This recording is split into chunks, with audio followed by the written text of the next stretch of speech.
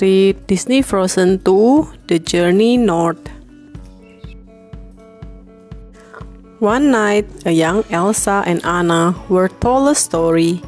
It was about how the people of Arendelle and the Northuldra went to war with each other and ended up being trapped inside an enchanted forest. The girl enjoyed the story but had lots of questions. The mother, Queen Iduna, told them about a special river called Ahtohallan that was said to hold all the answers about the past.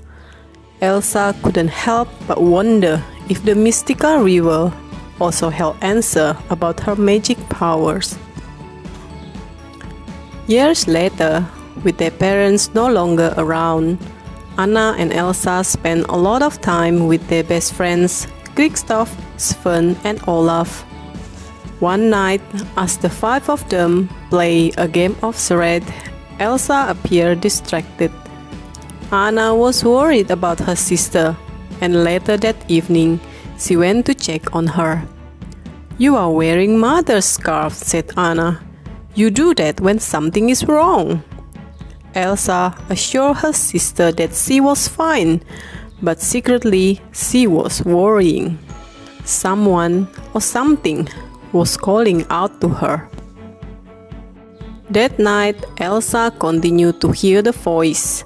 She followed it out of the castle to the fjord. Elsa used her powers to shoot out an enormous blast that created ice crystals.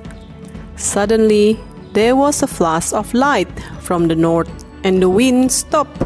Fire died out, and the fountains and waterfalls dried up. The village had to be evacuated. Then Grand Pabbie and the troll arrived. Elsa and the wise troll understood that she needed to head north and follow the voice.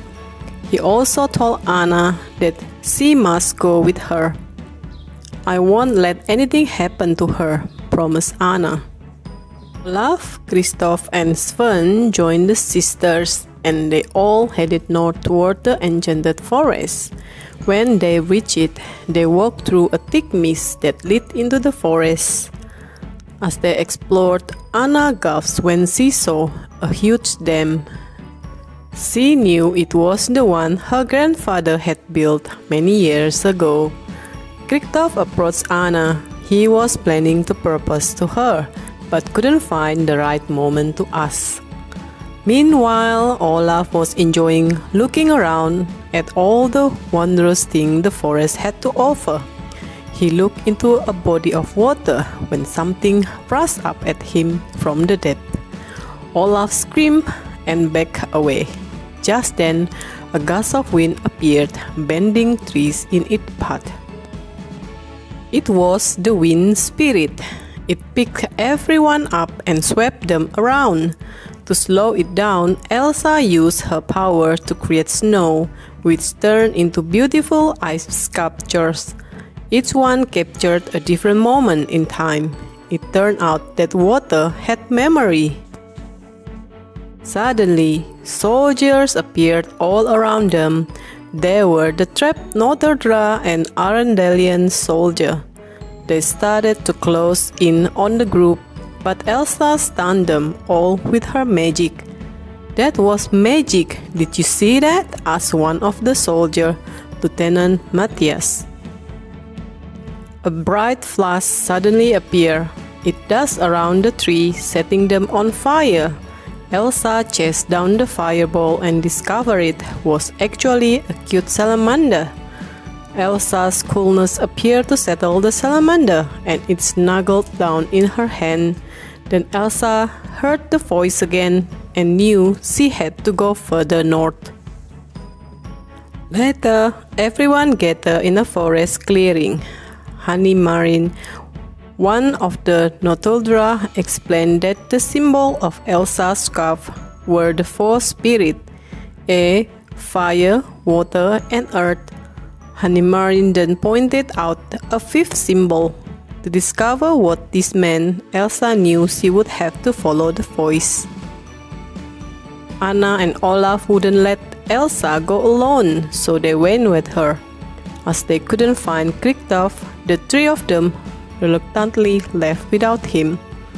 As it happened, Kristoff was busy getting ready to propose to Anna when he learned she left without him. The ice harvester started to wonder whether he truly fit into Anna's future. A little while later, Elsa, Anna, and Olaf had reached the top of a hill. They gazed at the side below. It was the wreck of their mother and father's ship. They ran down to take a closer look. The group searched the wreck for clues. They found a map which had Ahtohallan clearly marked on it.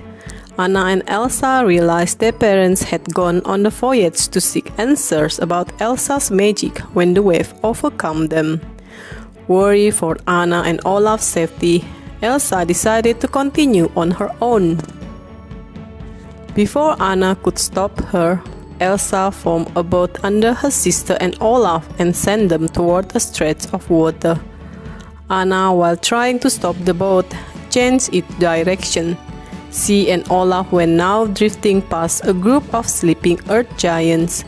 Soon after, they ended up in the cavern, wondering what to do next. Meanwhile, Elsa finally reached the Dark Sea.